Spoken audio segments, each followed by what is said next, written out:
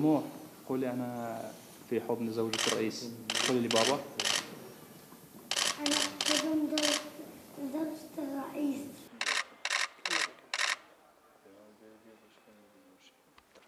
Beraber de oynuyorlar sürekli Sidre ile birlikte. Kardeş oldukları için özellikle Sidre ile gelmek istiyorum demiş.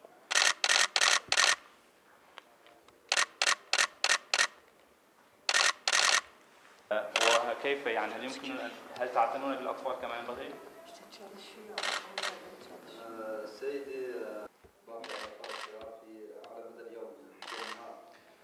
bakmaya çalışıyoruz ama eşi çalıştığı için Sidra ile Muhammed daha büyük oldu 9 yaş.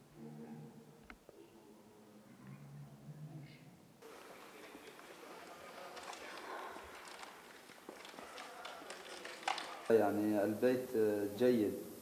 Evimiz iyi. Evimizle ilgili sıkıntımız yok. Elektriği de var.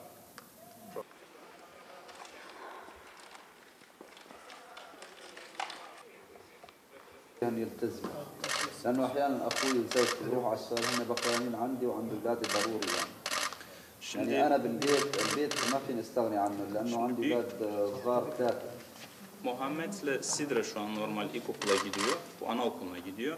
Ancak bazı durumlarda anne çalıştığı için ben bakamıyorum zaten. Duruma göre kardeşim de çalışıyor.